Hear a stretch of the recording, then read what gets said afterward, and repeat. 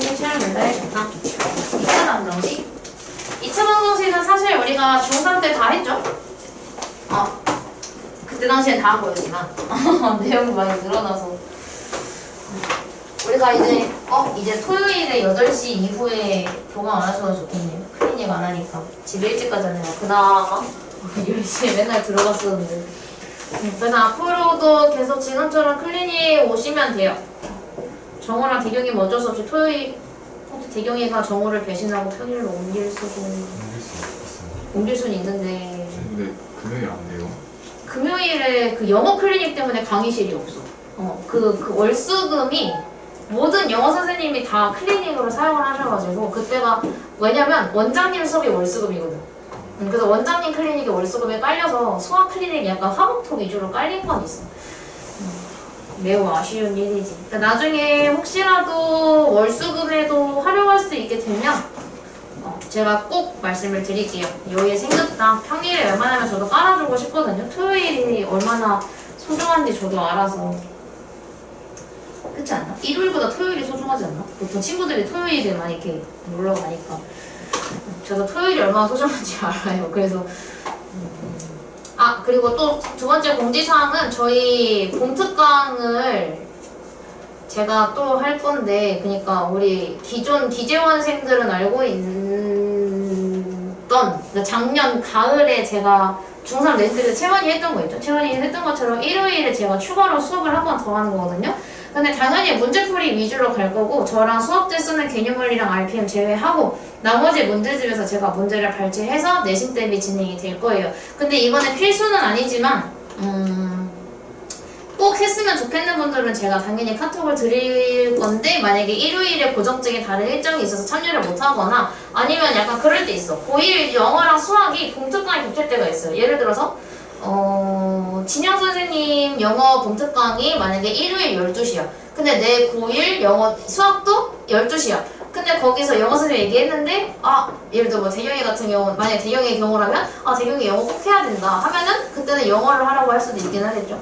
어 그래서 필수는 아닌 특강이지만 꼭 했으면 좋겠는 분들이나 아니면은 꼭 제 거가 아니더라도 그러니까 이제 어떻게 될지 몰라 수학과가 회의를 해야 되는데 여러분 학교가 갈리잖아요. 태정고랑 강남고. 근데 우리 정규 수업은 진도를 어차피 똑같이 나가 상관이 없기는 해 교과서도 똑같아요. 태정과나 교과서 둘 다 비상이기 때문에 상관은 없어요. 어, 상관은 없지만 그래도 여기 차이가 있잖아요. 태정과는 서술형이 있고 강남과는 서술형이 없죠. 그렇기 때문에 약간 그런 세세한 차이도 있어서 약간 수학과가 회의 중인 게 그냥 담당 강사가 모든 학생들이 케어할지 아니면 태전 따로 강남 따로 나눌지도 지금 얘기 좀 하고 있어요. 그래서 그 얘기가 나오면 말씀을 드릴게요. 개인적으로 유빈이랑 승준은 꼭 했으면 좋겠어요.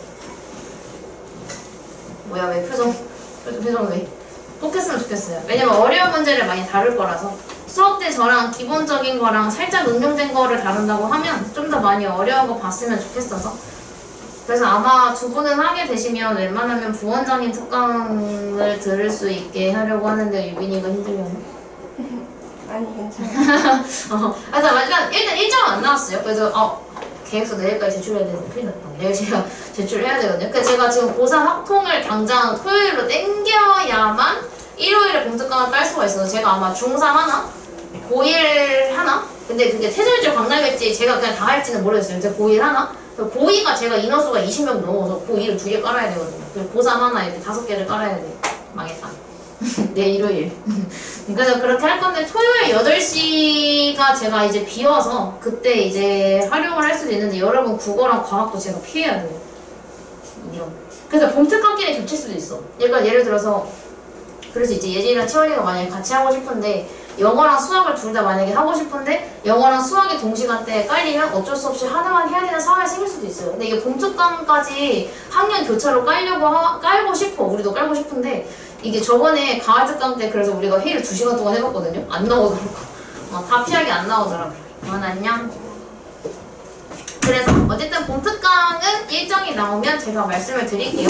어쨌든 그건 주말이에요. 제가 월화수목금은 풀 수업이어서 그렇게 알고 계시면 돼요. 필참은 아니지만 제가 일단 눈치는 주겠죠. 아 승주 꼭 했으면 좋겠다.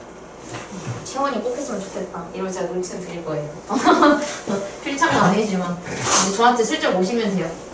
저 아무래도 저는 거기까지는 좀 아닌 것 같아요. 선생님보다 찾아올 수 있게 제가 눈치는 드릴 거예요. 자, 2차 방정식. 우리가 원래 2차 방정식에서 어디까지 했었냐면 일단 첫 번째로 중3 때 배우는 과정을 먼저 보여드릴게요. 중3 때는 2차 방정식에서 뭘 배우냐면 일단 2차식이 뭔지를 먼저 배우긴 하지만 2차 방정식을 먼저 구분할 수 있는 거를 배우죠. 이제 우리 이 정도는 안 하지만 어, 2차 방정식이 뭔지를 먼저 배워요. 그 다음에 두 번째로 배우는 게 뭐냐면 인수분해를 해서 x값 구하는 거를 배우게 돼요. 인수분해. 그 다음에 배우는 게 근해 공식이에요. 그 다음에 중3에서 이제 근해 공식을 배우는데 지금 외우라고 시켰거든. 근해 공식 다 외우고 계셔야 돼요. 어, 근해 공식 외우라고 시켰는데 지금은 당연히 그냥 일반 공식만 외워라. 짝수, 짝수 공식 너무 어려우면 일반 공식이라도 외워라. 이 정도 수준으로 하고 있고요. 근해 공식. 그 다음으로 배우는 게 판별식을 배우는데 중3 때는 판별식이라는 단어가 안 나와. 그냥 b제곱 마이너스 4ac를 사용하는 것만 배워요.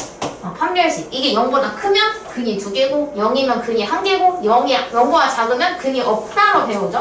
어, 이거 배우고 그 다음에 마지막으로 배우는 게 활용이에요. 이렇게. 근데 우리가 여기에서 이제 진화를 하죠. 우리가 고등수학에서는 이거를 다루지 않습니다. 2차 방정식인지 아닌지 판단하는 거. 어차피 그냥 2차만 살면 되는 거니까 이것까지 크게 다루지 않아요. 그래 인수분해도 다루지는 않죠. 왜냐면 이거 여기까지는 이제 여러분이 기본 베이스로 깔려 있다라고 우리가 판단을 하니까. 근데 여기서부터는 차이점이 생겨서 우리가 새로 배우는 내용이 생겨요. 뭐냐면 루트 안에 마이너스를 집어넣을 수 있게 바뀌었죠. 그래서 우리가 루트 안에 음수를 집어넣을 수 있기 때문에 원래는 이 판별식이 0보다 크면 서로 다른 그냥 두 개의 근을 가진다라고만 배우거든요. 근데 이제 우리가 이름이 바뀌죠. 서로 다른 두 실근. 이라고 해서 실근이라는 단어를 사용하게 돼요. 실수로 이루어진 근이라고 해서 실근이라는 단어를 쓰죠. 그래서 우리가 얘- 만약에 얘가 0이면 그한 개인데 중근이라고 이야기를 하죠. 근이 한 개, 중근. 그리고 0보다 작으면 이때 원래는 근이 없다, 해가 없다 라고 했었는데 이제 우리가 고등수학부터는 서로 다른 두 허근을 가진다 라고 내용이 바뀌게 되죠. 왜냐? 우리가 루트 안에 음수가 들어가면 그걸 허소라고 하기로 정했으니까 배웠으니까 이렇게 바뀌게 됩니다. 이게 추가가 된 거예요. 그래서 근해 공식을 사용을 했을 때 원래 루트가 양수만 나오는 것들만 우리가 중3 때 나왔었는데 여기서부터는 이제 루트 안이 음수가 나오는 것도 나오게 되죠. 근데 우리가 만약에 답을 구했어. 근해 공식을 쓰니까 어 2a 분의 하니까 2a 없어지고 뭐 이런 식으로 했어. 이대로 두면 안 되죠. 선택지에 당연히 이 친구 없죠. 그래서 우리가 앞으로 루트 안에 마이너스가 있으면 이 친구를 아 마이너스 2 플러스 마이너스 루트 5y로 바꿔서 쓰는 작업까지 우리가 배우게 됩니다. 그리고 활용도 그냥 여기서 근해 공식에서 이제 마이너스가 들어가는 게 생기다 보니까 활용도 한 번 더 하게 되는데 문제가 당연히 지금까지 배운 게 1년 사이에 더 많아졌기 때문에 그게 추가가 돼서 나오게 될 거예요. 그래서 여러분이 결국은 지금도 써야 되는 건 뭐냐면 여기를 지우면 나오는 근해 공식. 어, 이 친구. 음, 이 친구는 여러분이 반드시 암기를 하고 있어야 하고 중3 때 근해 공식까지만 외웠다면 짝수 공식까지도 반드시 암기를 하셔야 돼요. 왜냐면 저는 문제 풀 때 여러분 이제 고등학교는 아시잖아요. 시간이 많이 부족할 거예요. 중학교 때 부족하지 않았던 친구들도 고등학교는 부족할 거거든요. 그래서 저는 속도를 올려야 되기 때문에 저는 필요할 때마다 짝수 공식을 갖다가 쓸 거예요. 짝수 공식이 익숙하지 않으신 분들은 숙제할 때 짝수 공식을 써볼 수 있도록 연습 한번 해보시는 게 좋을 것 같습니다. 그래서 지금 제 설명으로 여기 1번과 2번이 끝났어요. 그 다음에 새로 이제 근과 계수의 관계라는 아이가 중3 때는 없다가 고등학교 때 새로 나오게 되죠. 완전 새로운 얘는 진화하는 게 아니라.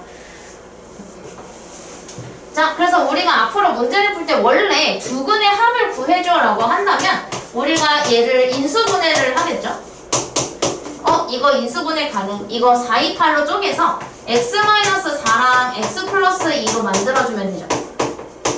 그치? 그러면 원래 두 근의 합을 구해야 되니까 근을 구해야지. 라고 하고 근을 구해. 그래서 우리가 x는 4, x는 마이너스 2. 이렇게 만들어주게 돼요. 어, 근데 사실은 우리가 이거 전개하는 방법을 곱셈 공식에서 이미 알고 있는데 우리가 x 플러스 a랑 x 플러스 b가 있을 때 이거 전개하면 어떻게 되냐면 x제곱 플러스 a 플러스 bx 플러스 ab가 돼요. 근데 여기에서 우리가 두 개의 근은 마이너스 a와 마이너스 b가 생기죠. 왜냐면 얘를 0으로 만드는 x가 한 개의 근이 될 거고 얘를 0으로 만드는 x가 또 하나의 근이 될 거니까. 그럼 두 근의 합은 결국 얘네 둘을 더한 거니까 마이너스 A 마이너스 B가 두 근의 합이에요. 근데 이거 마이너스로 묶으니까 마이너스 A 플러스 B가 되더라고. 그래서 여기 가운데에 있는 개수가 그냥 그대로 왔다는 거를 알 수가 있죠. 이 A 플러스 B가 그대로 왔다는 거를 단 부호가 뒤집어져서 왔다. 라는 걸 알 수가 있게 돼요. 마찬가지로 우리가 여기서 얘네 두 개를 곱하게 되면 두 근을 곱하게 되면 마이너스 A와 마이너스 B를 곱하게 되는데 음수 음수지만 마이너스가 없어져서 A, B로 바뀌게 되죠. 그래서 여기 뒤에 있는 A, B가 그대로 두 근의 곱이 된다라는 거를 알 수가 있게 돼요. 그래서 우리가 여기서 참관했던 게 원래 여기가 A, A, C가 들어가는 것도 마찬가지예요. 그렇게 증명이 됐는데 그래서 우리가 아, 두 근의 합을 구할 때는 우리가 마이너스 A분의 B로 구해줄 수가 있고 두 근의 곱은 A분의 C로 구할 수가 있겠다. 그래서 원래 여기서 두 근을 이렇게 구해서 합을 구한다면 합은 4랑 마 2를 더하니까 2가 나왔겠죠? 곱은 4랑 마 2를 곱하니까 마 8이 나오겠죠. 하지만 저 공식에, 공식에 의해서 우리가 두 근의 합을 구하게 된다면 마이너스 a분의 b니까 마이너스 1분의 마이너스 2 그럼 얘가 플러스로 바뀌면서 두 근의 합이 2가 나올 거고요. 그럼 마찬가지로 두 근의 곱은 a분의 c 에 의해서 마이너스 8이 나오게 될 거예요. 근데 우리가 직접 구한 거랑 공식을 이용한 거랑 똑같이 나오게 되는 거죠. 그래서 우리가 앞으로 문제를 풀 때 두 근의 합, 두 근의 곱이 나오면 항상 근을 구하는 게 아니라 물론 언제는 근을 구하는 게 더 편할 수도 있겠지. 인수분해가 된다면. 근데 인수분해가 안 되는 경우에는 당연히 이 공식을 사용하는 게 훨씬 편할 겁니다. 이따가 당연히 연습을 할 거고요. 혈렉은 제가 조금 이따 아, 할게요. 그래서 366번이랑 367번은 그냥 인수분해라서 제가 넘어갈 거고요. 368, 369는 근해 공식 넣을 건데 짝수 공식만 하나 넣어볼게요. 369번. 자, 우리 근해 공식 중에 짝수 공식. 고3까지 가져가야 하는 공식이죠. 자, 짝수 공식은 우리가 어떻게 하냐면 원래 여기서 저는 항상 헷갈리지 않으려고 A, B, C를 쓰고 시작하거든요. 여러분은 이제 익숙해지면 당연히 안 쓰고 그냥 음, A는 1이고 B는 막 8, C는 28이다. 라고 생각하고 하겠지만 저는 항상 다 쓰고 시작해요. A가 1이고 B를 쓸 건데 짝수 공식 쓸 거니까 B의 절반을 가져오겠죠. 마이너스 4. 그리고 C는 28이에요. 그럼 이 상태에서 짝수 공식을 넣으면 짝수 공식은 A분의 마이너스 B 플러스 마이너스 루트 B제곱 마이너스 AC 이렇게 계산을 하죠. 그럼 이거 루트 안에 정리하게 되면 4 플러스 마이너스 루트 마이너스 12 그럼 루트 12는 2루트 3으로 빠져나가니까 4 플러스 마이너스 2루트 3인데 안에 마이너스가 있었으니 밖에 i를 꺼내줘야 되겠죠. 마이너스를 꺼내야 되니까. 그래서 우리가 첫 번째로 해야 되는 거 근해 공식 썼을 때 루트 꺼낼 수 있는 숫자 있는가 판단해 주셔야 되고요. 두 번째 마이너스가 있으면 i 밖으로 꺼내주기까지 해주셔야 됩니다. 이거 안 하면 여러분 객관식 선택지에 당연히 없을 거예요. 근데 이거 안 했을 때 나 잘못 풀었나? 이렇게 함부로 생각하는 게 아니라 내가 안 한 게 있나?를 먼저 생각해야 돼요. 수학은 항상. 끝 마무리가 잘 지어지지 않은 경우일 수도 있으니까. 그래서 요거를 오늘 연습을 할 거고요. 이거는 직접 풀으라고 해서 사실 이거 안 푸셔도 돼요. 우리 실근인지 허근인지 어떻게 구분해? 판별식을 사용했을 때 0 이상이면 실근, 0보다 작으면 허근이죠. 그래서 이거 직접 풀지 않고 그냥 판별식만 쓰셔도 돼요. 이따가 나중에 쓰시게 되면. 그래서 이게 판별식을 직접 써보자 라고 하는 문제인 거죠. 어, 저기 위에 건 판별식을 쓰는 게 아닌데 그냥 판별식을 하자. 우리 뭐 다 배웠는데 뭐. 그래서 이런 경우에는 우리가 직접 판별식을 다 쓰게 되는데 판별식을 써보면 자, 얘 같은 경우에 b제곱 마이너스 4 a c를 해요. 그럼 25 마이너스 8이니까 얘는 17. 그렇죠? 이런 식으로 다 계산해 주시면 돼요. 이것도 쓰게 되면 b제곱 마이너스 4 a c 어, 그럼 9 마이너스 20이니까 마이너스 11 나오게 되고요. 근데 이런 경우에는 우리가 다 4의 배수인데 방정식의 특징이 뭐지? 방정식은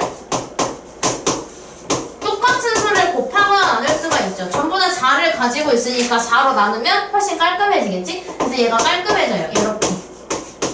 4로 나누면.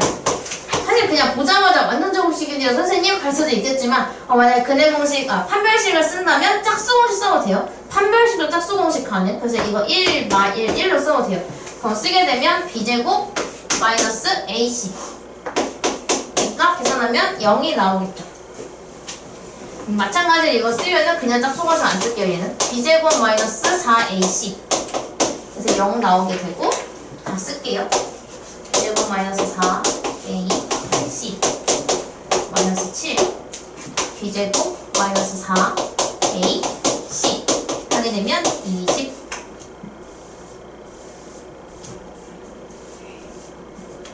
이렇게 돼요. 자, 그럼 이 상태에서 우리가 서로 다른 두 실근을 가지려면 어때야 된다고 했냐면 판별식이 0보다 커야 되죠. 현재 0보다 큰 양수를 가지고 있는 친구는 기억과 비읍. 얘는 기억이랑 비읍을 골라주시면 되고요. 어, 그럼 여기서 두, 서로 같은 두 실, 서로 같은 두 실근이 중근이에요. 중근을 가지는 건 판별식이 0이 나온 디귿과 리을이 되겠죠. 그래서 얘는 둘이 디귿이랑 리을. 그럼 서로 다른 두 허그는 판별식이 음수가 나온 아이들이어야 하니까 미음과 미음이 될 겁니다. 이렇게 골라주시면 됩니다. 이건 귀찮은 거라 제가 했어요. 그거 일일이 다 쓰기 귀찮잖아요. 그냥 실수가 나올 수도 있고. 이것만 한번 해보시면 될 것, 어. 이게 될 것 같아. 내 말을 중요한 거라고 해야겠어. 음. 이것만 지울게요. 저거 냅두고. 자, 그래서 우리가 앞으로 이렇게 K가 있는 방정식을 많이 주게 되는데 이게 어떤 조건에 따라 K의 값을 바꾸자 라고 얘기하는 거예요. 자, 서로 다른 두 실근이라는 일곱 글자를 보자마자 우리는 바로 아, 이거 판별 쓰는 거다. 판별식이다. D 쓰는 거다. 라는 거를 판단을 하게 돼요. 그럼 서로 다른 두 실근이면 우리가 판별식을 써줘야 하는데 쓰게 되면 B제곱 마이너스 4 A, C에 의해서 9만 4K가 돼요. 근데 이게 서로 다른 두 실근이려면 판별식이 0보다 커야 되겠죠? 어, 그 이거 정리해주면 이렇게 되고 음, 점점 위로 올라갔어 그냥. 어, 여기 그래 K의 범위가 그래서 K가 9보 4 어디 갔죠? 미안. 어, 4분의 9보다 작다. 이렇게 완성해주면 돼요. 이건 분수 나오는 경우가 많기는 해요. b제곱 마이너스 4ac다 보니까 아무래도 분수가 조금 많이 나올 거예요. 어, 그럼 중근을 가지려면 당연히 9 마이너스 4k가 0이 나와야 되겠지. 그럼 마이너스 4k가 마이너스 9가 나오기 때문에 k는 4분의 9가 되겠죠. 그래서 k는 4분의 9.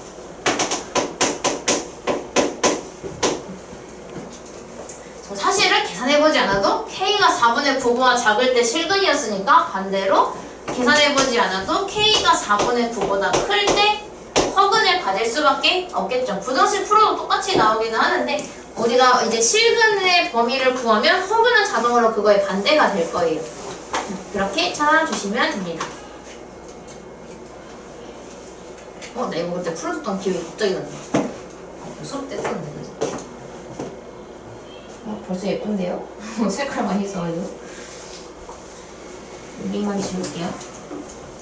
자, 그래서 우리 근과 계수의 관계를 원래 이거 하나 따로 나가고 저 위에 거 따로 나가고 다 따로 나갔었잖아요. 이거 한 번에 나가게 됐어요. 자, 우리가 이제 두 근을 알파 베타라고 하면 알파 베타 문제가 나오자마자 내가 바로 구하라고 했던 거 두 가지. 첫 번째, 알파 플러스 베타가 무엇인지. 두 번째, 알파 베타가 무엇인지. 두 개를 먼저 구하고 시작하자라고 했었죠. 그럼 알파 플러스 베타는 마이너스 a분의 b에 의해서 마이너스 2가 될 거고 알파 베타는 a분의 c에 의해서 마이너스 2가 될 거예요. 이게 똑같이 나오네. 자, 그래서 우리가 뭐 여기 있었네. 알파 플러스 베타는 마이너스 2, 알파 베타는 마이너스 2. 그쵸? 그래서 우리가 이제 이거 두 개를 이용해서 여러 가지 알파 베타로 이루어져 있는 식의 값을 구해줄 수가 있게 됩니다. 얘 같은 경우는 둘 다 알파 베타, 알파 베타 공통인수를 가지고 있으므로 알파 베타로 묶어줄 수가 있어요. 그럼 여기서 알파 두 개, 베타 하나인데 알파 하나, 베타 하나 나가면 알파만 한 개 남겠죠. 마찬가지로 오른쪽은 베타가 두 개니까 베타가 한 개 남겠죠. 어? 근데 우리는 알파 베타도 알고 알파 플러스 베타도 알아. 알파 베타는 마이너스 2. 얘도 마이너스 2지만. 어, 그래서 마이너스 2. 알파 플러스 베타도 마이너스 2. 저 두 개 곱하게 되면 얘는 4가 될 겁니다. 4. 자 그럼 마찬가지로 얘도 통분을 해줄 건데 얘는 왜냐면 얘가 떨어져 있는 상태에서는 뭐 아무것도 할 수 있는 게 없는데 우리가 분수의 덧셈은 원래 통분을 하니까요. 통분을 해줄 거예요. 그럼 얘는 알파가 필요하니까 알파를 위아래에 곱해줘야 되고 얘는 베타를 위아래에 곱해주게 되죠. 그럼 분모가 알파 베타로 통일이 되면서 알파랑 알파를 곱했기에 알파 제곱 플러스 베타랑 베타를 곱했기에 베타 제곱이 됩니다 그럼 여기서 이제 선생님 얘는 마이너스 2인 거 아는데 얘는요? 라고 생각할 수 있지. 근데 우리는 곱셈 공식을 이제 많이 외웠기 때문에 자 알파 제곱 더하기 베타 제곱은 알파 플러스 베타의 제곱 마이너스 2알파 베타예요. 그지? 곱셈 공식의 변형도 제가 슬슬 외우라고 했었죠. 그럼 여기가 분모가 마이너스 2가 들어오고 분자에 마이너스 2의 제곱은 4 마이너스 2 곱하기 마이너스 2는 4 그래서 계산하면 마이너스 2분의 8이므로 마이너스 4 이렇게 풀어지게 돼요. 합이 다 비슷하네. 2 아니면 4네요. 2랑 4, 2밖에 없어서 그런가 봐. 음, 합이랑 곱.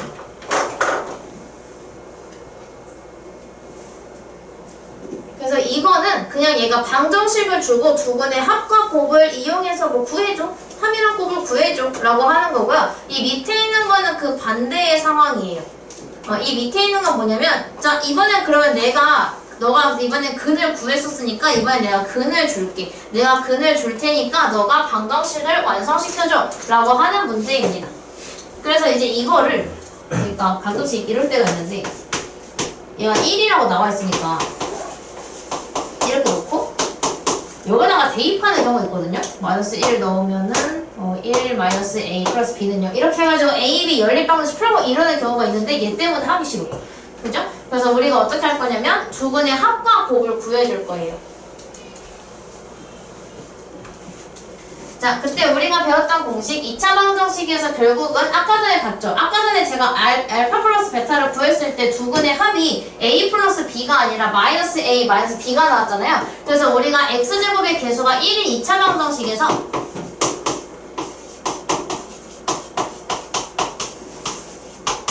이 공식이 성립한다는 거를 우리가 배웠었죠. 왜냐하면 우리가 아까도 얘기했지만 두근의 합을 가져올 때는 마이너스를 달고 가져와요. 그건 내가 증명을 했었죠. 그래서 우리가 두근의 합을 집어넣을 때는 마이너스를 넣고요. 두근의 곱은 a분의 c 음수를 안 가지고 왔어요. 그렇기 때문에 알파 베타는 그냥 집어넣어 주시면 돼요. 그럼 우리가 여기서 해야 하는 건 알파 플러스 베타와 알파 베타 값을 구해주는 일이죠. 자, 알파 플러스 베타는 두근을 더해주는 거니까 1이에요. 곱하기는 마이너스 2가 나오죠. 이걸 그대로 여기다가 집어넣어 주시면 돼요. 그럼 얘는 방정식을 완성하면 x제곱 마이너스 x 마이너스 2는 0으로 완성이 되겠지? 실제로 얘도 한번 해볼게요. 근데 이거 진짜 하기 싫게 생겼는데요? 라고 생각할 수도 있는데 하고 나면 깔끔해져요. 자, 두 개를 더 할 거야. 더하게 되면 플러스 2루트 1이랑 마이너스 2루트 2 없어지면서 3 더하기 3이 나오니까 두 번의 합은 6 이 될 거고 그럼 곱하기를 하게 되면 이 지우고 이렇게 되죠. 그럼 우리가 이거 합차 공식이에요. 그냥 3의 제곱은 9 2루트 2의 제곱은 8 그래서 9 빼기 8이니까 두 번의 곱은 1이 돼요. 어? 그럼 이 상태에서 근의 공식, 아니 근의 공식이래. 방정식 공식에다가 집어넣으면 x제곱 마이너스 6x 플러스 1은 0 이렇게 완성을 해줄 수가 있겠죠. i 있는 건 여러분이 해보세요. 저건 두 개의 허근이 나온 상황인 건데 마찬가지로 합친 거랑 곱한 거랑 두 개 구해주시면 돼요. 이거는 나중에 할게요. 그러니까 인수분해 하라는 게 뭐냐면 결국 근을 구하라는 뜻이거든요. 아, 할까? 이게 그니까 그냥 근을 구해서 예를 들어 근을 구했는데 이거랑 아까 저기 나와 있는 거 있잖아요. 이렇게 근이 만약에 두 개가 나왔어. 근의 공식을 썼는데 이 그거를 근이 나왔다는 건 예를 들어 우리가 근이 알파가 나왔으면 얘가 알파가 나온 이유는 x 마이너스 알파가 있기 때문에 알파가 나온 거잖아요. 근이? 그럼 얘가 2 플러스 i가 근으로 나왔다는 건 x 마이너스 2 마이너스 i가 있었기 때문에 2 플러스 i가 나온 거예요. 얘가 여기에 들어가야 다 사라져서 0이 되니까 무슨 말인지 알지? 그래서 그렇게 근을 구한 다음에 인수분해를 하라는 건데 음, 이건 이따가 뒤에서 문제에서 나오면 그때 볼게요. 이거는 일단 패스할게요. 플레이근. 이거 아까 제가 앞에서 안 했어요.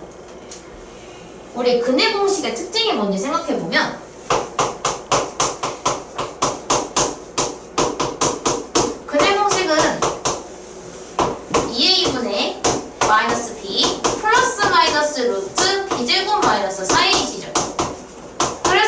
근의 공식은 맞춰 풀면은 이런 식으로 답이 나오는 거잖아요.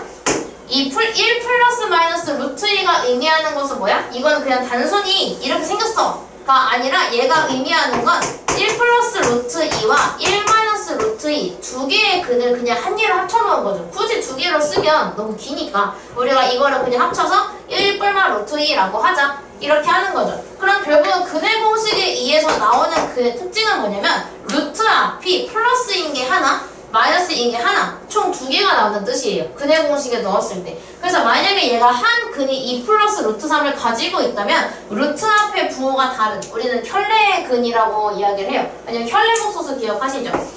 1 플러스 i 켤레 복소수는 i의 부호를 바꾼 1 마이너스 i 라는 걸 배웠잖아요? 이것을 따온 거예요. 그래서 우리가 켤레근이라고 우리가 하나의 근을 봤을 때 어? 이거 루트를 가지고 있네? 근데 루트 앞이 플러스인 게 있으면 마이너스인 것도 한 근으로 있겠다 라는 거를 알 수 있게 되는 게 켤레근이고 이거의 성질입니다. 그래서 우리가 여기서 겨- 근을 두 개 알았어. 또 이제 뭐 하면 돼? 이거 방정식 완성하려면 두 근의 합과 두 근의 곱을 똑같이 구해주면 되겠죠.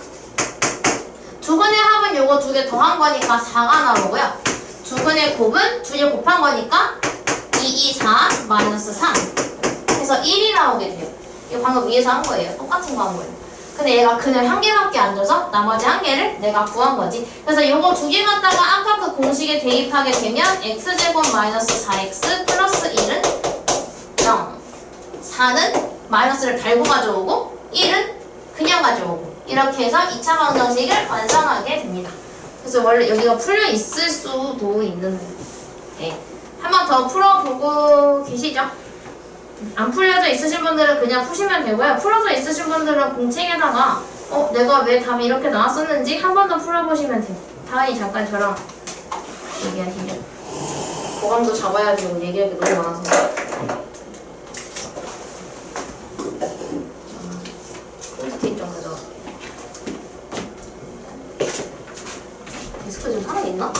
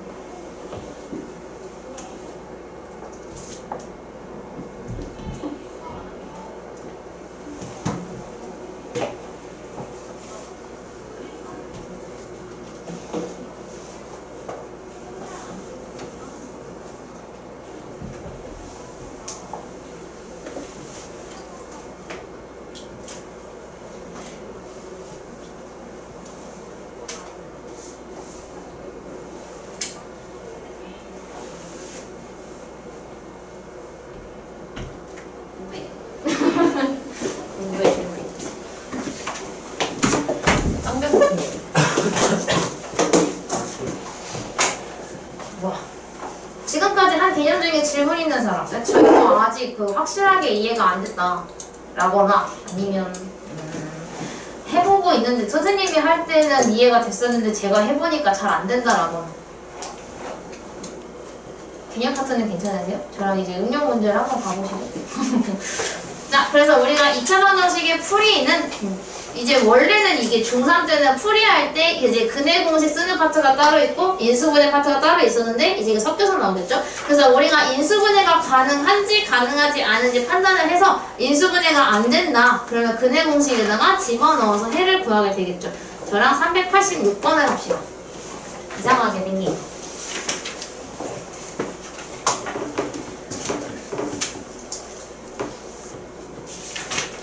예진이랑 채원이 이제 몇 월, 아니, 화요일 6시 괜찮은 거지?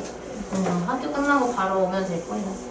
어디, 아, 그 강의실이 바뀌었어요. 그, 화요일 6시에 우리 원래 쓰던 강의실 있죠? 5강의실, 8강의실 이거 썼었는데, 화요일에 클리닉 하시는 분들 3강의실로 오시면 돼요.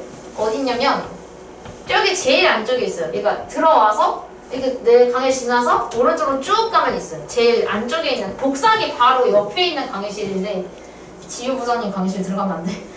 상강의실로 가시면 돼요.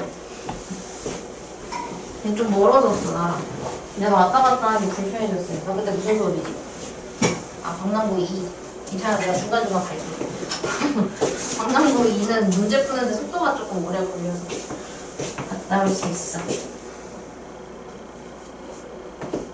자, 저랑 386번부터 일단 한 4개씩 끊어서 하거나 약간 이렇게 해봅시다. 자, 일단은 우리가 그래서 풀어줘야 되는데 당연히 중학교 때는 단순하게 2차 방정식을 푸시오라거나 그런 거 많이 나오잖아. 소수나 분수 섞어가지고 10백천 곱하거나 최소 공배수 곱하거나 이런 거 많이 나왔었는데 이제 새로운 기호를 얘가 많이 만들죠.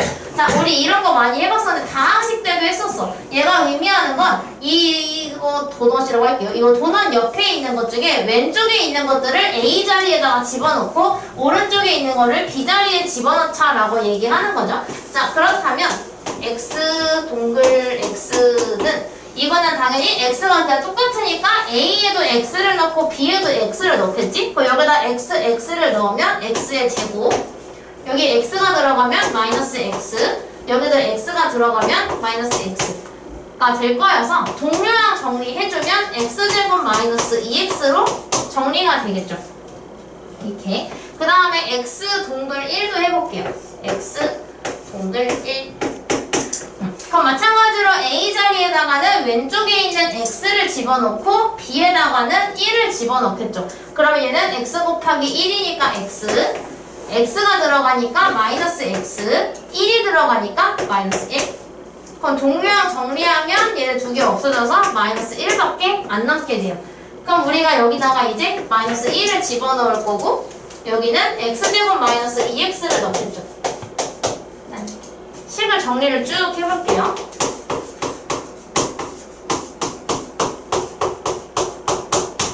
지금 내가 완성한 식이 이래요. 이거 정리해주면 x제곱 마이너스 2x 플러스 1 하고 4 가지고 오면 마 4는 0. 정리하면 어 이거 인수분해 된다. 3이랑 1로 쪼갠 다음에 얘한테 마이너스 주면 마이너스 2가 나오죠? 그래서 이거 인수분해 하면 x 마상 x 풀1은 0. 어 사실 얘가 근데 모든 실수 x의 값의 합은이니까 주, 이거 등, 근각계수의 관계를 그냥 a분의 마이너스 a분의 b에서 2 하면 되긴 하거든요. 근데 지금 이 문제가 사실 유형상 위치상 근각 계수의 관계 배우기 전이어서 얘는 인수분해 해가지고 3이랑 마이너스 1이 나오니까 요거 두 개 더해서 2가 나온다. 이렇게 푸는 거를 원하는 거기는 해요. 하지만 학교 시험은 그딴 거 없으니까 그냥 바로 마이너스 a분의 b 해주면 되겠지. 근데 지금 얘는 마침 인수분해가 되니까요. 인수분해가 안 되면 한번 의심할 필요가 있어요. 어, 이거 근해 공식서 더 하라고? 이렇게 생각을 해볼 수가 있겠죠. 어, 그럼 두 분의 합이 나올 테니까요. 이렇게. 그래서 우리가 이제 한 근이 주어지게 되면 우리가 한 근을 주면 이거를 그냥 x에다가 집어넣죠. 그래서 옛날에도 이제 1차 방정식 같은 경우에 원래 a가 있으면 안 되는데 이런 1차 방정식이 있는데 근데 여기에 근이 근 중에 하나가 아, 근이 있, 있는데 그 근이 2다 라고 하면 어떻게? 여기다가 2를 직접 넣어보지 근이 2라고 하니까 여기다가 2를 넣어서 그럼 2a 플러스 1이 0이라는 뜻이니까 a가 2분의 1이다. 이렇게 찾아주는 작업을 많이 했었죠. 1차 때도, 중1 때도. 그래서 우리가 한 근을 주면은 이거를 그냥 고, 고지고대로 집어넣게 돼요. 어디다가? x에다가. 바로 대입을 하게 되죠. 근데 아마 이거 대입하는 건 여러분이 굉장히 잘하실 것 같아서 저는 맨 마지막에 있는 걸 할 거예요. 개념 원리에서 한번 했던 유형이기는 한데 까먹었을 법 하잖아요. 이거 중3 애들이 이거 그 엄청 어려운 난이도로 이거 나오거든요. 그러니까 우리 상 중인데 걔한테는 상이야 그냥 상. 음, 어렵게 나와요. 그리고 이제 중3 입장에서는 알파가 생소해. 그래서 알파랑 A를 자꾸 똑같이 써. 내가 맨날 이렇게 써주긴 하는데 이렇게 안 쓰고 그냥 계속 약간 이런 느낌. 원래 A를 이렇게 쓴다고 하면 약간 이런 느낌으로 가지고 꼬아서 쓰긴 하더라고요. 좀 헷갈려 내가 볼 때마다. 자 일단은 우리가 한근을 알파라고 한다고 했기 때문에 어 선생님 이거 근데 근이 문자인데요? 숫자가 아닌데요? 라고 생각할 수가 있겠지만 어쨌든 우리가 한 근을 줬기 때문에 얘를 여기 있는 x에다가 집어넣어 줄 겁니다. 그럼 집어넣으면 알파 제곱 마이너스 2알파 마이너스 1은 0 근데 우리가 지금 구하고자 하는 애가 알파분의 1 느낌이 조금 있죠? 그래서 우리가 여기를 알파로 나눠줄 거예요. 그 알파로 나누게 되면 알파 마이너스 2 마이너스 알파분의 1은 0. 그래서 알파 마이너스 알파분의 1이 마이너스 2가 2항이 되면 얘가 2로 바뀌게 돼요. 그래서 우리가 알파 마이너스 알파분의 1이 2다 라는 식을 얻을 수가 있겠죠? 적으실 거죠? 이거 쓰고 있어야겠다.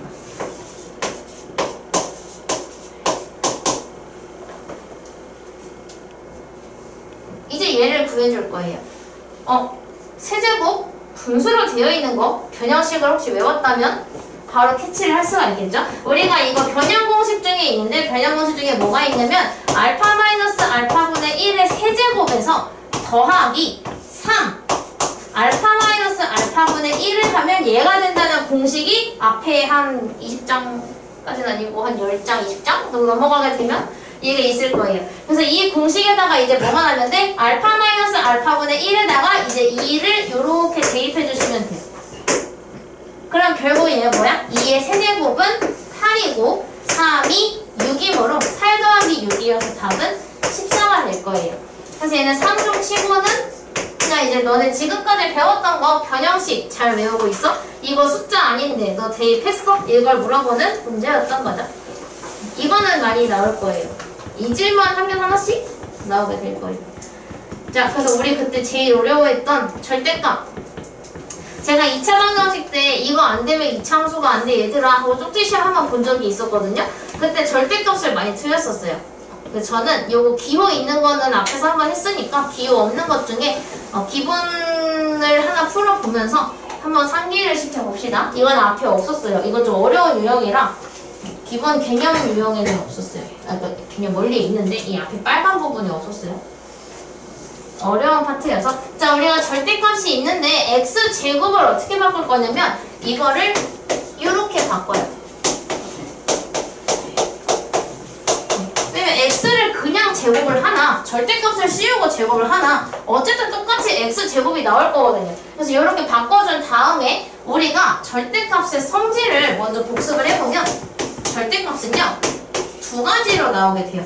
얘가 그냥 x로 나오거나 마이너스 x로 나오거나 둘 중에 한 가지로 나오게 됩니다. 언제냐면 그냥 나오는 경우는 x가 양수일 때 또는 0일 때는 그냥 그대로 나오고요. 마이너스로 나오는 경우는 부호가 다를 때예요. 선생님 그 절대값이면 마이너스가 원래 안 생기잖아요. 절대값은 마이너스 없애주는 앤데요? 라고 생각할 수 있지. 근데 여기서 x가 음수가 되면요. 마이너스 x 자체는 양수가 돼요. 예를 들어서 절대값 안에 2를 집어넣잖아요? 그럼 이거는 그냥 2라는 거 우리 다 알지. 이거 모르는 사람 없잖아. 주기도 다 나왔으니까. 아, 물론 모를 수도 있겠지만 우리만은 없잖아요?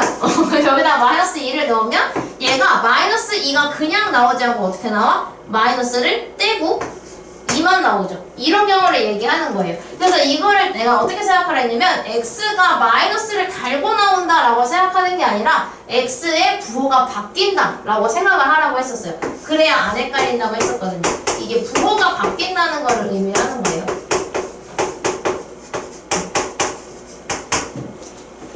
근데 괜히 마이너스를 단다라고 생각하면 절대값을 씌웠는데 마이너스가 왜 나와? 라고 괜히 혼다, 혼돈이 생길 수가 있기 때문에 어, 이렇게 해주시면 됩니다. 부호가 바뀐다. 그래서 음수가 들어간 경우에는 부호가 바뀌어서 양수로 나오게 된다 라는 의미를 가져요. 그렇다면 우리가 절대값의 경우는 두 가지로 나눠야 되겠죠. 언제? 얘가 그냥 나오는 경우와 그냥 나오지 않고 바뀌는 경우 두 가지로 나눠서 풀 거예요. 아 참고로 이것도 똑같습니다. 루트도 바뀌어질 때 제곱이랑 루트가 만나면 없어진다는 거 다들 알고 계실 텐데 얘도 그냥 나올 때가 있고 음수로 나올 때가 아 미안 부호가 바뀔 때가 있어요. 언제냐면 얘가 양수일 때는 그냥 나오게 되고 부호가 바뀌는 경우 당연히 음수일 때 부호가 바뀌게 됩니다. 그래서 기억해 놓으시면 돼요. 이거 안 지우고 한번 써볼게. 어, 그래서 우리가 이거 경우를 두 개로 나눌 건데 첫 번째는 얘가 그냥 나오고 싶은 거잖아. 그럼 절대값 안에 있는 x가 양수일 때가 있을 것이고 절대값 안에 있는 x가 음수일 때가 있을, 있을 거예요. 그럼 우리가 절대값 안에 있는 게 양수라면 저게 x가 그대로 나온다고 했으니 이런 경우에는 x제곱 마이너스 2x 마이너스 2는 0으로 풀리게 될 겁니다. 이게 뭐가 달라요? 라고 생각할 수가 있는데 x가 만약에 음수라면 부호가 바뀌죠. 부호가 바뀌니까 x제곱은 상관없어. 얘는 상관없는데 여기에 있는 게 부호가 바뀌게 돼서 마이너스 x로 나오게 돼요. 그럼 마이너스 2랑 마이너스 x가 만나니까 플러스 2x로 나오게 되겠죠. 마이너스 2는 영향을 받지 않습니다. 이렇게 경우가 나뉘어지게 되면서 다른 식이 됐죠. x의 개수의 부호가 다르니까요. 어, 이 상태에서 근데 얘가 열받는 건 인수분해가 안 돼서 근해 공식을 써야 돼요. 된장 짝수고제 쓸게요. 자 그럼 x를 구하게 되면 a분의 마이너스 b 플러스 마이너스 루트 b제곱 마이너스 ac. 아 2인데 미안. 1 더하기 2를 생각해서 3이라고 써버렸어. 어, 여기가 이렇게 나와서 얘가 계산하면 1 플러스 마이너스 루트 3이 돼요. 얘도 써볼게요. 짝수 공식을 쓸 거예요. 음, 그러면 x는 a분의 마이너스 b 플러스 마이너스 루트 b제곱 마이너스 ac 그래서 계산하게 되면 마1 플러스 마이너스 루트 3이 되죠. 자 아까부터 계속했던 거 이거 1뿔마 루트 3이 의미하는 것은 1 플러스 루트 3과 1 마이너스 루트 3 두 개를 의미하는 것이고 얘가 의미하는 것은 마이너스 1 플러스 루트 3 마이너스 1 마이너스 루트 3 두 개를 의미하는 것이죠. 자, 근데 1번의 경우 x가 0 이상이다라고 났죠. 근데 여기서 얘는 x가 0보다 작아요. 왜냐하면 이걸 루트로 바꿨을 때 얘는 루트 1 더하기 루트 3이고 얘는 루트 1 빼기 루트 3이죠. 어, 근데 작은 거에서 큰 걸 빼면 당연히 음수가 나오게 돼요. 얘는 음수. 그 얘가 양수죠. 근데 x가 양수라고 가정을 했기 때문에 당연히 얘는 해답이 될 수가 없겠죠. 음수가 나왔기 때문에 얘도 마찬가지예요. 이거 루트 안으로 집어넣으면 마이너스 루트 1 플러스 루트 3 마이너스 루트 1 마이너스 루트 3 그래서 얘는 올 플러스를 가지고 있는 게 더 크니까 얘는 양수가 나올 거고 얘는 음수가 나올 거예요. 근데 지금은 x가 0보다 작다라고 가정을 했었기 때문에 x가 0보다 큰 경우는 성립을 하지 않습니다. 그래서 답이 이 친구랑 이 친구 두 개를 답으로 써주셔야 돼요. 그래서 얘는 답이 1 플러스 루트 3하고 마이너스 1 마이너스 루트 3하고 이렇게 두 개가 답이 나와요. 결국은 2차 방정식이니까 답이 두 개가 나와야 맞아요. 어, 두 개까지만 한 개는 중근일 수는 있으니까요. 어, 두 개까지 나오는 게 맞아요. 얘 절대값이어서 여기서 하나, 여기서 하나, 총 두 개가 나온 거죠. 만약에 세 개가 나온다? 그럼 뭔가 잘못 본 거야. 음, 다시 풀어봐야 돼요. 두 개까지만 나와야 되거든요. 저랑 활용 한 개만 하고 음, 풀 시간 잠깐 조금 드릴게요. 한 문제씩 풀어볼 만한 시간을 잠깐 드릴게요. 이거 어려울 텐데. 왜냐면 우리가 위에 있는 도형에 대한 활용은 사실 중학교 때도 많이 했었어요. 이거 제가 영상 찍었으니까. 그냥 지워버릴게요. 그냥 이거 좀 어려운 거라 필기하고 싶었을 텐데. 자, 그래서 우리가 398번 같은 경우는 우와 선생님 이거 뭔, 이거 뭔 말인지도 모르겠는데요 라고 생각할 수 있어 왜냐면 X% 인상을 했다가 X% 인하를 해요 그랬더니 가격이 낮아졌대 이게 무슨 느낌이냐면 처음에 만 원짜리가 있었어 10% 인상을 해. 10% 인상하면 천 원이 추가되잖아. 10%가 천 원이니까. 그럼 천 원이 추가가 돼서 내가 자, 만 천 원에 팝니다. 라고 했어. 응, 근데 안 팔려. 그래가지고 바보같이 10% 다시 할인해야겠다. 라고 하면은 만 원으로 돌아가는 게 아니지. 왜냐면 만 천 원으로 올린 상태에서의 10%는 천 원이 아니라 천백 원이기 때문이야. 그래서 여기서 천, 내가 또 10%를 가격을 내리게 되면 1,100원이 빠지게 되면서 나는 9,900원으로 돌아가게 돼요. 그럼 결국 원래 팔던 것보다 더 손해를 보는 일이 발생을 하는 거지. 이런 상황을 얘기하는 거예요. 그래서 얘가 똑같은 퍼센트를 올렸다가 내렸지만 올린 상태에서의 퍼센테이지가 더 그 값이 크기 때문에 더 많이 빼게 돼요. 그래서 나눠진 거지. 이런 상황을 얘기하는 거예요. 근데 지금 문제는 뭐냐면 저 물건의 가격을 내가 이거 만 원이라고 해놓은 거고 얼마인지를 몰라. 그죠? 그래서 우리가 그냥 물건의 가격을 대문자 A라고 할 거예요. A1. A1이라고 놓을 겁니다. 자, 그렇다면 원래 물건의 가격은 A1이었어. 근데 거기서 X% 인상한다는 예를 들어서 우리 만 원이 있을 때, 만 원이 나오는데, X% 인상하는데 만약에 5% 인상이라고 하면 우리가 지금까지 문제를 어떻게 풀었냐면 100분의 5를 곱하는 게 아니라 100분의 105를 곱해.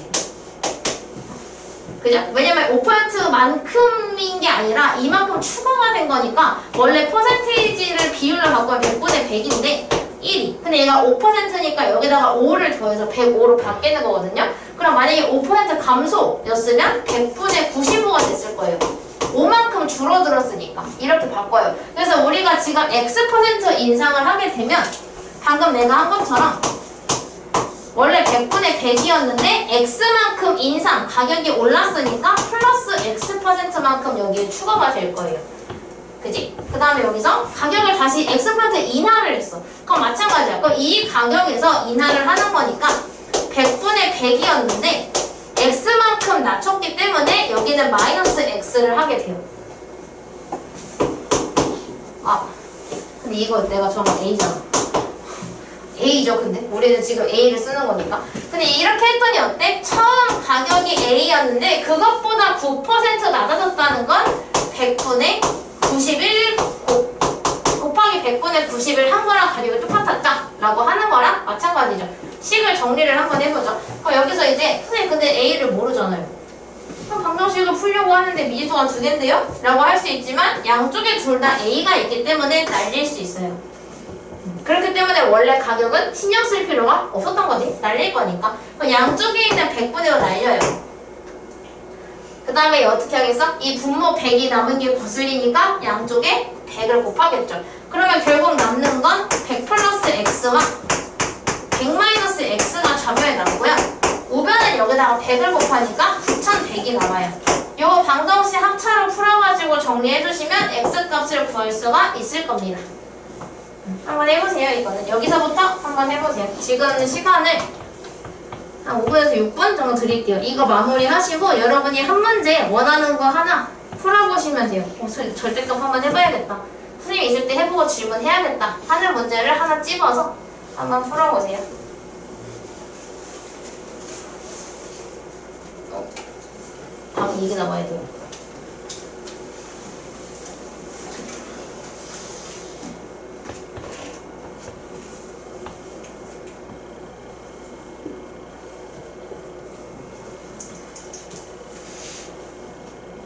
음, 웬만하면 활용을 하나 풀어보거나. 절대값을 풀어봐도 좋기는 한데 뭐 다 괜찮은 문제밖에 없어서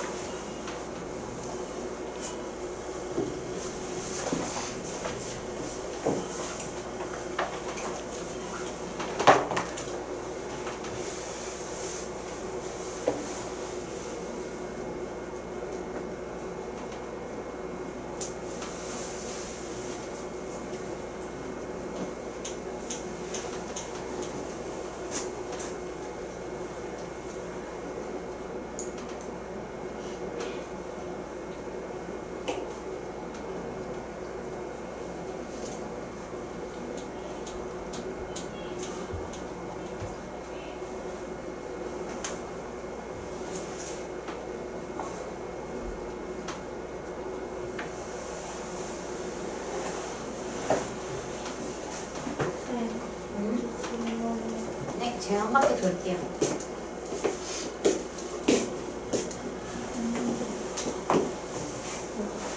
신 만들었어? 이거?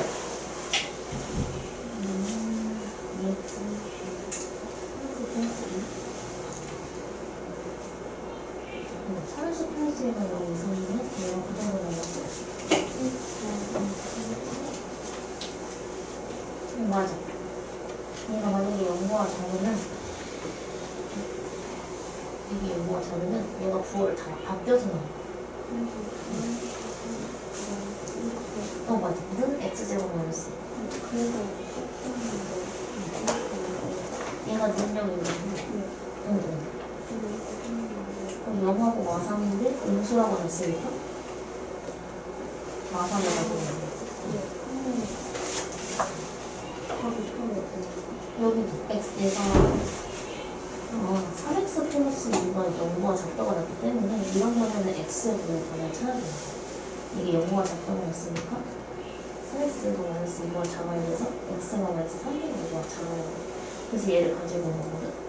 그럼 얘를 아마 풀었을 때 마찬가지로 3x 플러스 2가 0보다 크다고 났으니까 x의 범위를 때문에 x가 마이너스 3분의 2보다 크다고 나올 거야. 근데 얘보다 크니 얘가 더 낫지.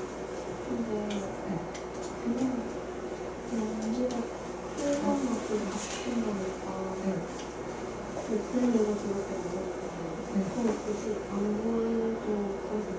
이 상황에 따라서 얘네 둘을 가져가고 얘네 둘을 안 가져가는 상황도 있을 수 있거든. 응. 왜냐면 얘가 x가 0이 아니라 3x 플러스 2가 0이 있으는 거잖아. 그래서 x의 범위를 따로 구해줘. 왜냐면 다음에 아까는 x거든. 음, 그래서 얘가 결국은 내 얘가. 그래서 얘네 두 개만 나와서. 그치. 응, 그렇게 구해줘. 맞아, 맞아. 윤이 막힌 거. 저 이거 답이 안 나와. 범위 어떻게 나왔어? 0이랑 1은 x 범위 안 나왔어, 혹시? 아, 얘 때문에 저걸 했고 왜냐면 얘가 부호가 플러스일지 마이너스일지를 결정해주는 기준값은 0이지만 얘가 플러스일지 마이너스일지 결정해주는 기준값은 1이거든 그래서, 그래서 얘는 0이랑 1일 때가 기준이 돼서 결국은 유빈이는 3개가 나와야 돼 어차피 2차 공식도 다 배웠으니까.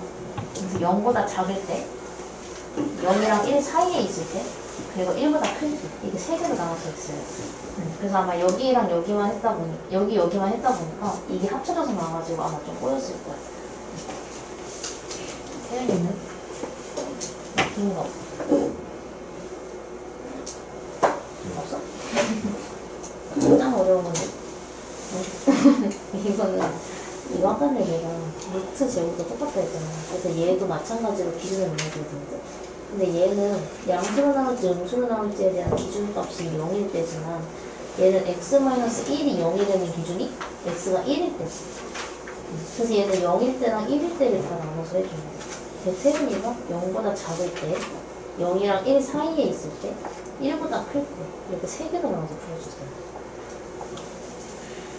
알겠어? 혹시 어찌나 재환이는?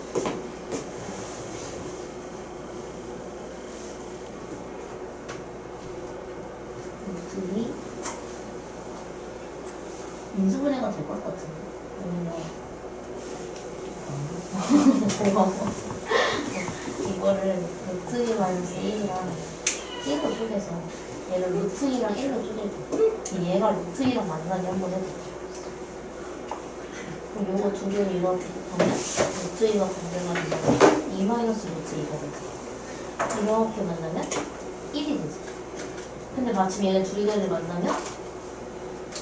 어? 가운데 걸 만들 수 있을 것 같아. 그러니까 내가 만들어야 되는 거는 3 마이너스 루트 2가 아니라 마이너스가 달린 3 마이너스 루트 2를 만들어야 되지. 그래서 재원이는 여기가 둘 다 마이너스가 달려야 될 거야 음, 그래서 이렇게 인수분해가 이렇게. 그럼 두근 나왔지. 순전을 맡긴 거 없니? 네. 마지막 거?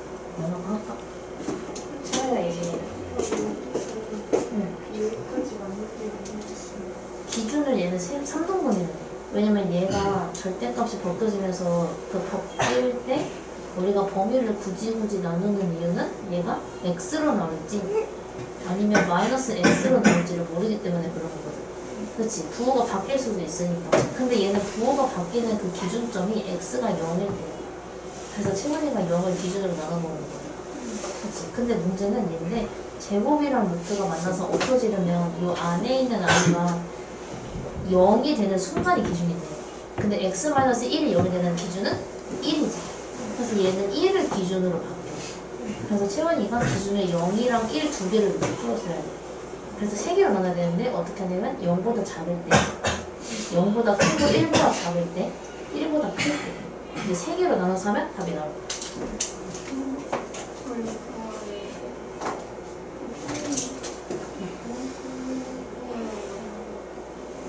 음. 1을 넣은 거지?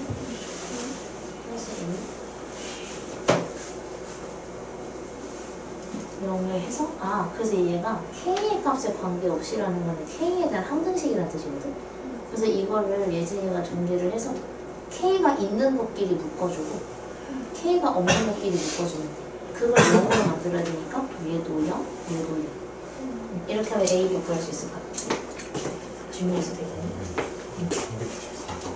이거 식 만들었네 혹시? 이거?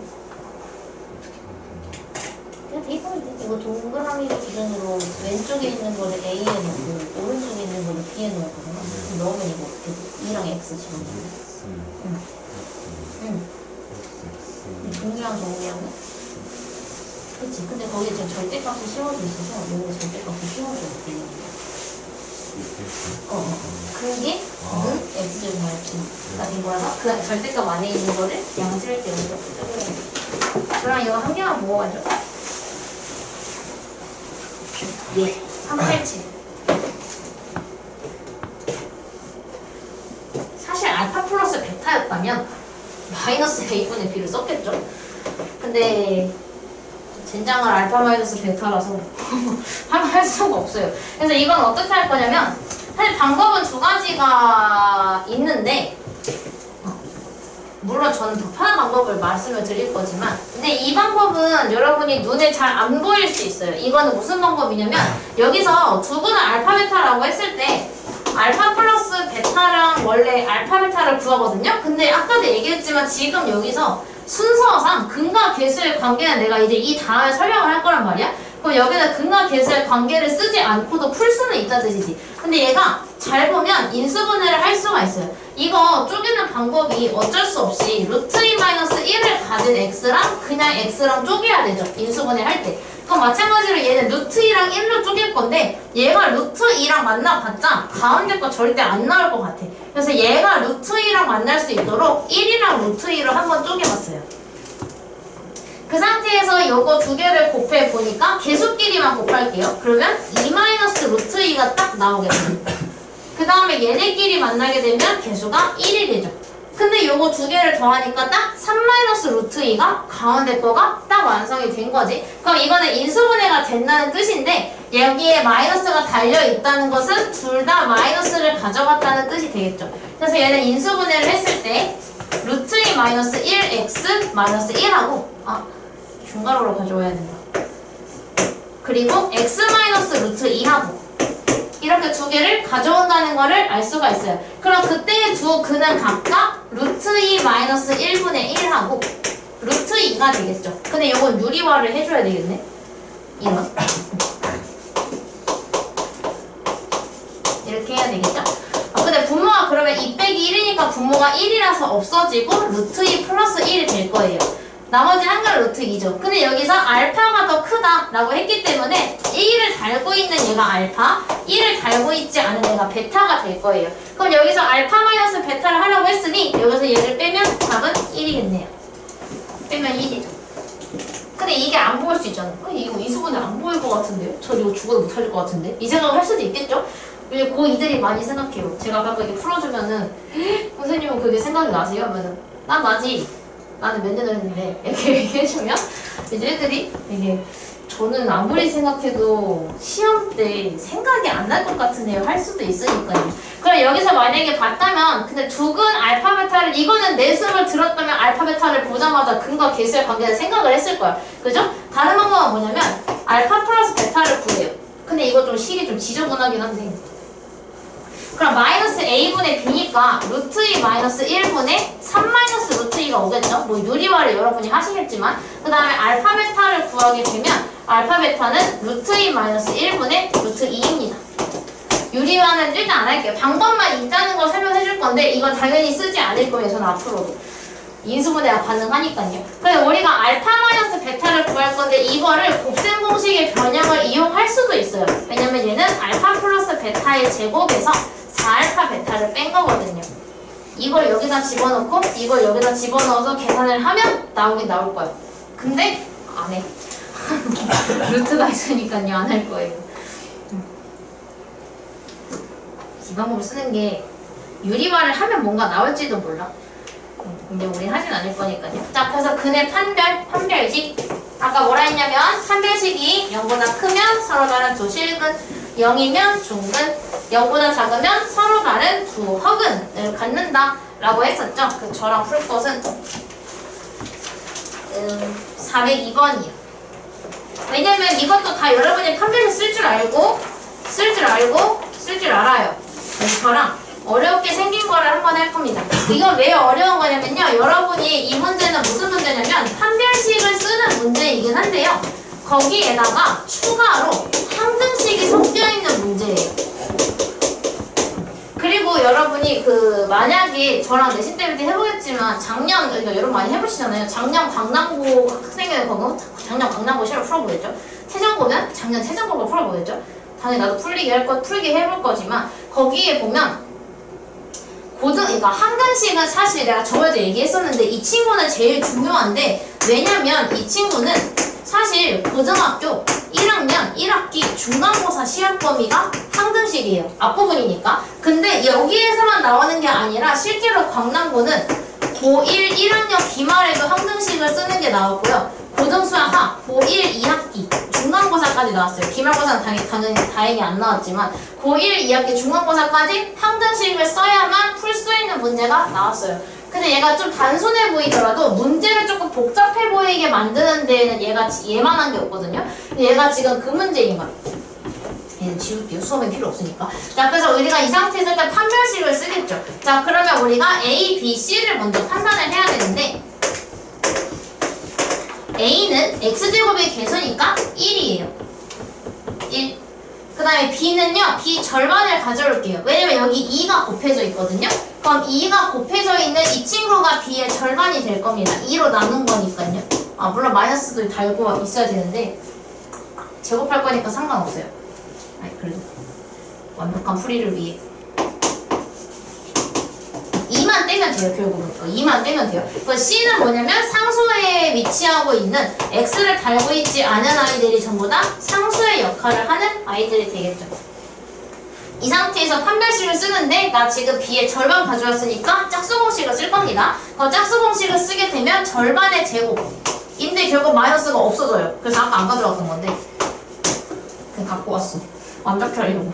그러니까 얘가 판별식을 쓰는데 짝수공식은 D, 4분의 D라고 쓰거든요. 그냥 그렇구나 하고 넘기시면 돼요. 좀 뭐예요 하지 말고. 그러니까 여기 C가 A랑 곱해지면 얘가 1이니까 그냥 C만 오겠죠? 그래서 K제곱 마이너스 6K 플러스 B가 돼요. 일단 이거 전개를 한번 해볼게요. 이거 전개하게 되면 K제곱 마이너스 2AK 플러스 A제곱 그리고 이거 마이너스 전부 다 분배해주면 마이너스 k제곱 플러스 6k 마이너스 b 이렇게 되죠? 그럼 여기서 k제곱이랑 마이너스 k제곱이 만나서 없어져요. 그럼 남은 것들을 보니까 어때? k를 가지고 있는 애가 보이고 k를 가지고 있지 않은 애가 보이죠? 여기서 이제 항등식을 쓰는 거야. 왜냐면 문제에서 k의 값에 관계없이 라는 것은 무슨 뜻? 이거 k에 대한 항등식이라는 뜻이죠. 우리 배웠으니까요. 근데 우리 항등식 문제 나면 어떻게 했어? K에 대한 항등식이면 K를 가지고 있는 애들끼리 묶어주고 K를 가지고 있지 않은 애들끼리 묶어줬죠. 어, 그렇게 만들어 줄 겁니다. 근데 얘가 중근을 가진다고 했으니 판별식이 어때야 돼? 판별식이 0이 되어야 하겠죠. 중근을 가진다는 것은 근이 한 개인 거니까. 그럼 K가 있는 것들을 보니까 K를 가지고 있는 게 마이너스 2A하고 6이네요. 그 K를 가지고 있지 않은 게 색깔 바꿔야겠다. A제곱하고 마이너스 B네요. 요렇게. 근데 얘가 0이 되려면 어때야 돼? K를 가지고 있는 애도 0이 되어야 하고 K를 가지고 있지 않은 애도 0이 되어야 하겠죠. 그럼 여기에서 우리가 알 수 있는 건 A가 3이 되어야 한다는 거. 음, 여기서 알 수 있는 건 A에 3을 넣으면 B가 9가 되어야 한다는 걸 알 수가 있겠죠. 근데 저거 두 개를 더해달라고 했으니까 답은 12가 될 겁니다.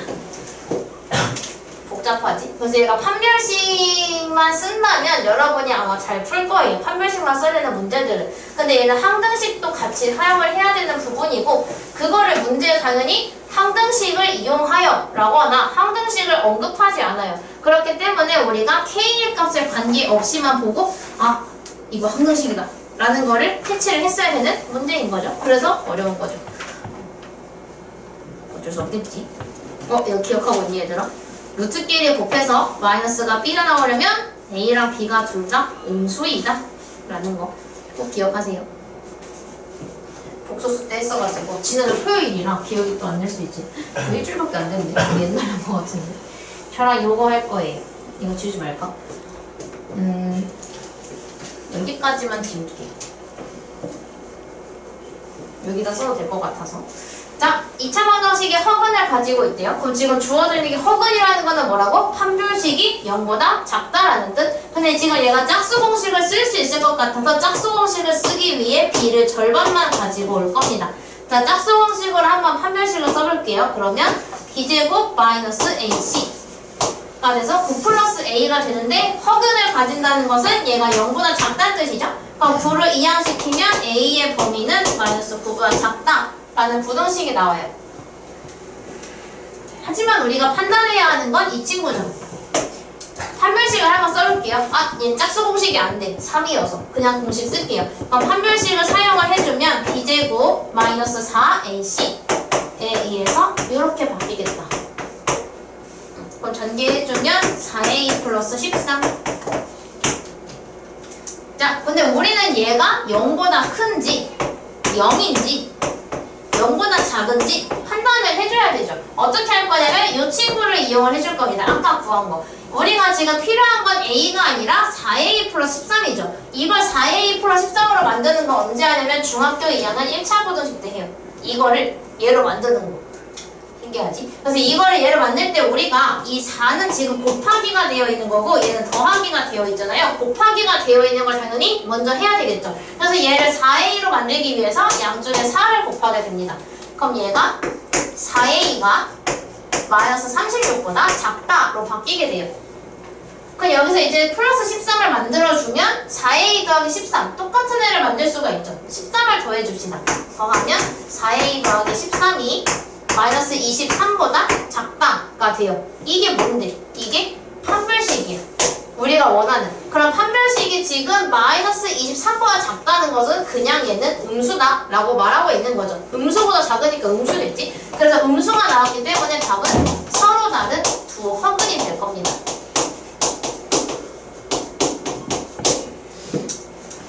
이렇게 풀 수가 있어요. 그래서 판별식을 하기 전에 조금 더 하죠. 조금 더 하자.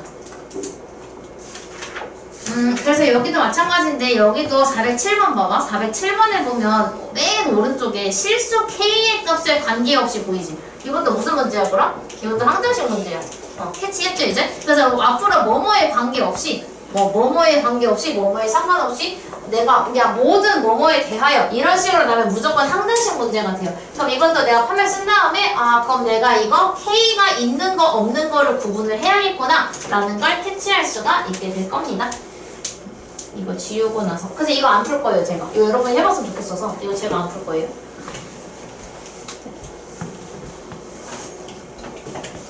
저는 그 밑에 있는 걸 풀 거예요.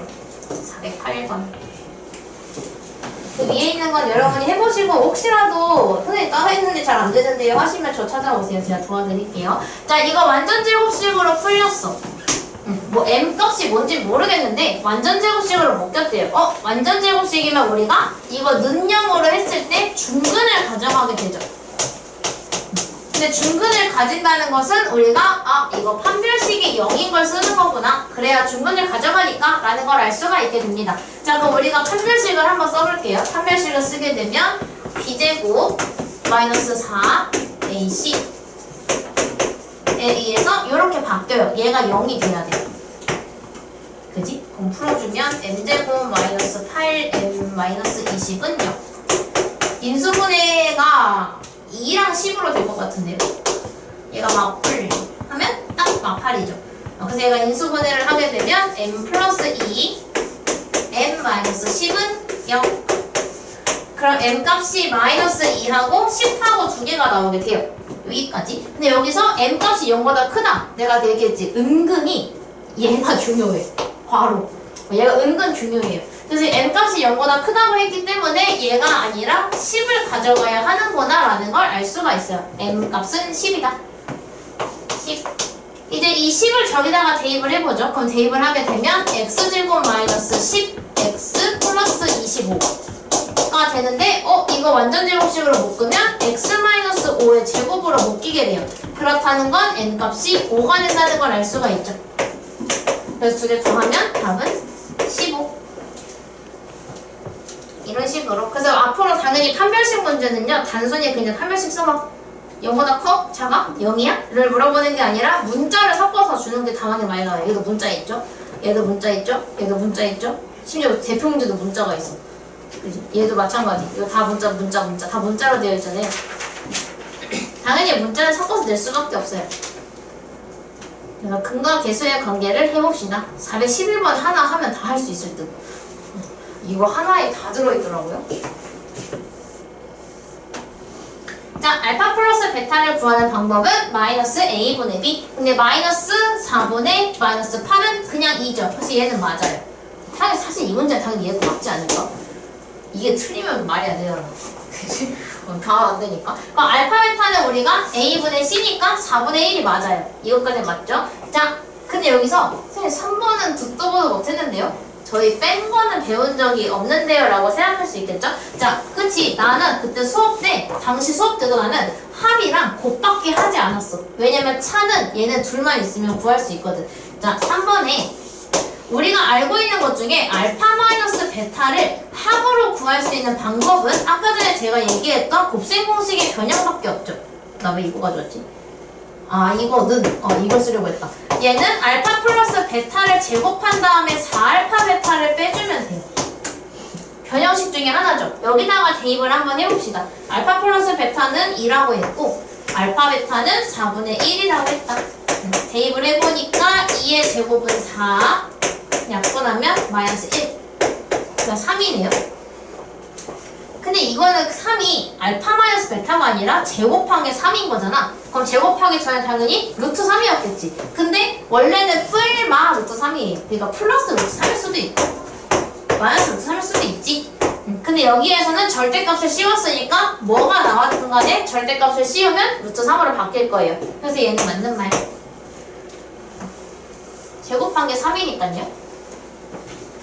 자, 4번은 여러분 다 알고 계시죠? 4번은 곱셈공식 변형식의 기본 중에 기본. 왜냐면 제가 암기를 시켰기 때문에. 알파 플러스 베타의 제곱에서 2알파 베타를 뺀 거랑 같죠? 그럼 이것도 마찬가지로 대입하면 이거는 2라고 그랬고 얘는 4분의 1이라고 했으니 계산을 하면 4 2분의 1이어서 2분의 8 빼기 1이니까 2분의 7이 되겠다. 그래서 얘는 맞는 말이 돼요. 답은 5번입니다. 나도 아는데. 한번 해볼게요. 자, 그럼 5번이 도출되는 과정을 한번 해보면 이거 지워도 되지. 음. 사실 이미 지워긴 했는데. 괜찮아. 영상을 찍었으니까요. 이거 분수가 나오면 있죠. 무조건 통과하세요. 분수가 나오면 약분이 되지 않는 이상. 근데 약분 절대 안 되잖아. 1이니까. 그럼 약분이 더 이상 안 되니까 이런 경우는 무조건 통분을 해줘야 돼요. 그럼 통분을 하게 되면 서로 곱하게 되잖아요? 그럼 여기에다가 1 플러스 베타를 곱하게 된다면 분자에 1 플러스 베타가 올라오게 될 거예요. 얘가 쑥 올라오겠죠? 마찬가지로 1 플러스 알파를 이렇게 이렇게 곱하게 되면 여기 분자에 1 플러스 알파가 쏙 올라오게 될 거예요. 그럼 정리를 해주게 되면 분모 전개 안 하는 게 깔끔해 보이지만 전개해야 됩니다. 전개해주면 1 곱하기 1은 1, 알파 곱하기 1은 알파, 1 곱하기 베타는 베타, 알파 곱하기 베타는 알파 베타. 그 다음에 분자에 올라오는 거 동류항 정리하고 위치 조금 바꿔주면 알파 플러스 베타 플러스 2가 되죠. 자, 그 여기다 대입하면 되겠지? 알파 플러스 베타는 2라고 했고 알파 베타는 4분의 1이라고 했고 그럼 집어넣게 되면 분모가 3 더하기 4분의 1 분자가 4예요. 그럼 여기서 분모 계산해줄 건데 3은 4분의 10이죠. 그럼 여기 분모가 4분의 13이 올 거예요. 그 다음에 분자에 4가 왔는데 4 말고 1분의 4라고 쓸 거예요. 자, 본분수 풀이 방법, 분수분의 분수 나와 있을 때는 무조건 가운데 두 개 곱한 게 분모, 바깥에 두 개 곱한 게 분자입니다. 그럼 13분의 16이 나와야 하는데 13분의 2라고 했으니 5번이 틀린 말이 되겠죠. 그래서 답이 5번이에요. 본분수까지 얘가 다 나와 있어서 본분수 꼭 기억하세요. 언제까지 기억해드리냐면은 고3까지. 계속 나와요. 잊을만 하면 계속 나와. 단원 이름은 아닌데 이런 애가 있다. 사실 원래는 이거 원리가 저거잖아요. 이게 알고 있지? 그냥 이렇게 있으면 사실 얘는 4 나누기 4분의 13이잖아요. 분수니까. 우리 분모, 분자를 분모로 나누겠다는 뜻이니까. 근데 이걸 당연히 곱하기로 바꾸면 이렇게 돼서 이렇게 되는 거거든요. 근데 이거 다 쓸 거 아니잖아.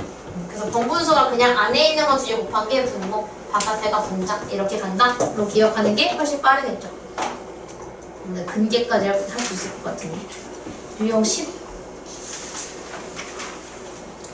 해야 돼요. 유형 10까지는 무조건 해야 돼. 두 개 남았다 일단 필수적인 것.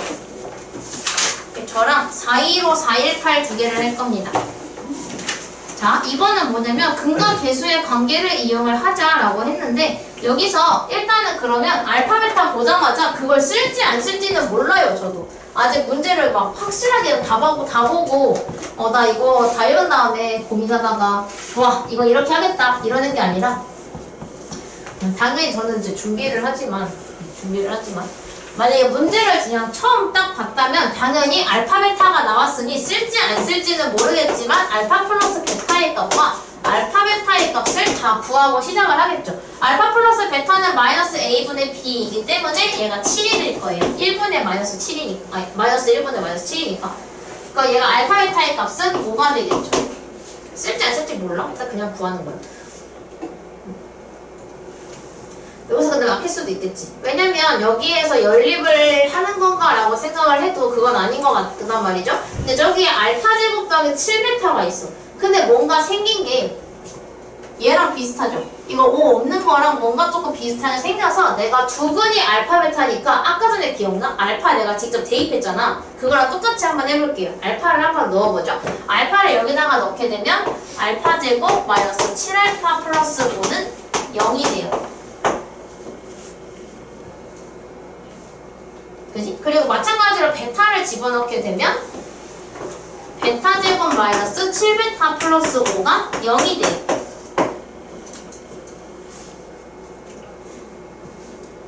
어쩌라고요? 라고 생각할 수 있겠지. 왜냐면 여기서 알파 제곱 더하기 7베타가 필요한데 알파 제곱은 여기 있고 7베타는 여기 있어. 그래서 우리가 얘를 어떻게 바꿀 거냐면 알파 제곱이 조금 더 2차라서 거슬리기 때문에 여기 좌변에 있는 마이너스 7알파 플러스 5를 우변으로 이항을 시킬 겁니다. 그럼 얘가 어떻게 바뀌냐면 알파 제곱은 7알파 플러스가 아니고 마이너스 5가 되겠죠. 부호가 바뀌니까 이제 이항을 하면서 이제 이거를 저기다가 대입을 할 거예요. 그러면 알파 제곱 플러스 7베타였던 i가 알파 제곱 자리에 7알파 마이너스 5가 그대로 들어오게 되면서 7알파 마이너스 5 뒤에 플러스 7베타가 달린 형태가 돼요. 근데 얘가 둘 다 7, 7을 가지고 있으니까 7로 묶어줬더니 이렇게 바뀐 거죠. 근데 알파 플러스 베타는 내가 7이라고 구해놨으니까 여기다가 7을 넣으면 49 마이너스 5가 돼요. 그래서 계산하면 44가 되겠네. 어, 풀었으니까 글씨 진짜 이상해진다. 이렇게 쓰는 거랑 이렇게 쓰는 거랑 다르네요. 이렇게도 풀 수 있어요. 그래서 만약에 두근을 줬다. 알파 베타가 나왔다? 그럼 일단 이거 두 개를 구해보세요. 근데 만약에 이걸로도 해결되지 않는다면 직접 알파와 베타를 한번 넣어보세요. 그러면 해결법이 보일 수도 있겠죠. 아닐 수도 있지만 대부분 보일 겁니다. 저랑 충분히 연습을 하고 시험을 보실 거기 때문에 418 어, 419는 좀 어려운데 이건 나중에 풀어드릴게요. 얘 먼저. 그럼 이번에 거꾸로야. 우리가 지금까지 방정식 준 다음에 자, 너 이거 갖다가 알파 플러스 베타랑 알파 베타 구할 수 있지? 라고 하는 거거든요.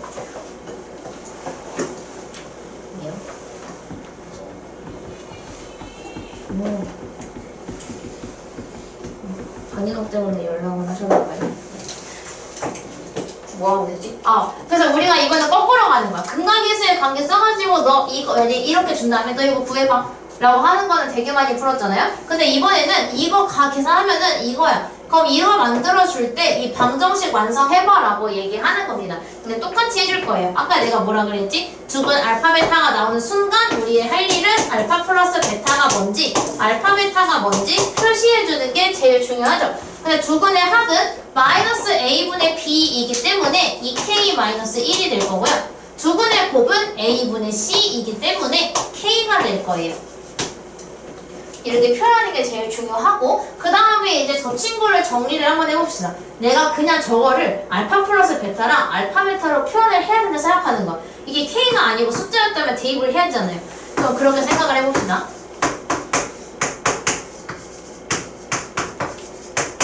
자 여기에 당연히 공통점이 있어 보이는 애는 얘네 둘이죠. 닮았어.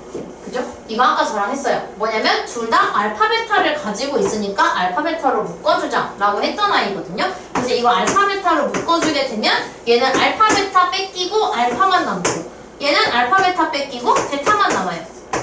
이렇게. 그 다음에 알파 플러스 베타가 뒤에 따라붙은 상황인 거죠. 이렇게. 이제 뭐만 하면 돼? 대입만 하면 되겠죠? 알파 베타에다가는 K를 대입하고 플러스에다가는 이 K-1을 대입을 했어요. 그럼 식이 어때? 알파 베타에는 K를 넣고 알파 플러스 베타에는 이 K-1을 넣어요. 여기도 이 K-1을 넣어요. 그러니까 전개를 하겠죠? 전개하면 2K 제곱 마이너스 K 플러스 2K 마이너스 1은 9예요. 나와 있어. 9래. 그럼 식 정리를 쭉 한 거를 여기다 한번 써볼게요.